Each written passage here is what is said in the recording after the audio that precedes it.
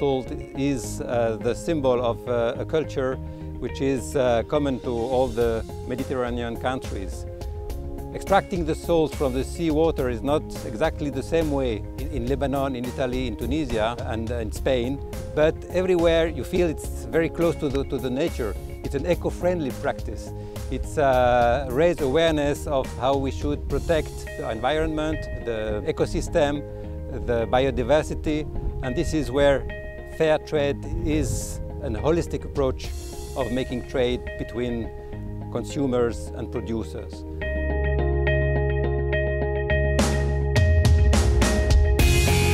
What we see here is that the shape of the salina is really different, but we have very common problematics because uh, of the abandonment, and, but the process is more or less the same.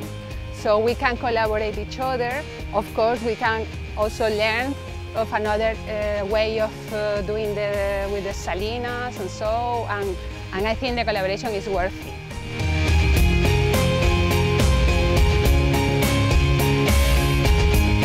نحن عندنا مثل ما بيقولوا مصادر إنتاجية محلية هالموارد استغلالها ونوقف عملية الاستيراد والكذا ما نحن عندنا كثير شغلات مهملة ما شكل الاضاءه عليها بشكل أساسي.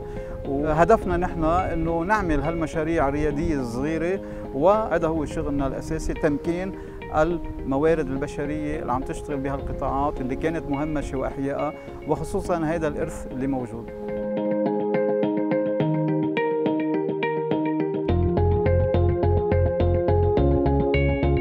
We have uh, tested, for example, one microalgae that can grow in the salinas, another microalgae for cosmetics. We are developing a touristic uh, package with a high quality, eco-tourings, eco-friendly and so.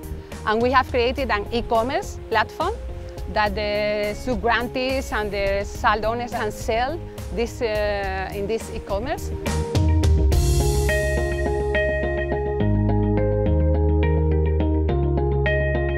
The ENI CBC MED program is one of the biggest initiatives where it is used as a platform to enhance cooperation between the 13 participating countries in the Mediterranean area uh, in order to uh, achieve the main objective of the program, which are the socio-economic uh, development in the Mediterranean area and to enhance cooperation to mitigate the effects of climate change on the Mediterranean uh, climate in, in general. The program has about 209 million euro budget with 13 participating countries cooperating uh, together. Now the program is funding 80 projects covering the 13 participating countries and the objectives of the, of the program.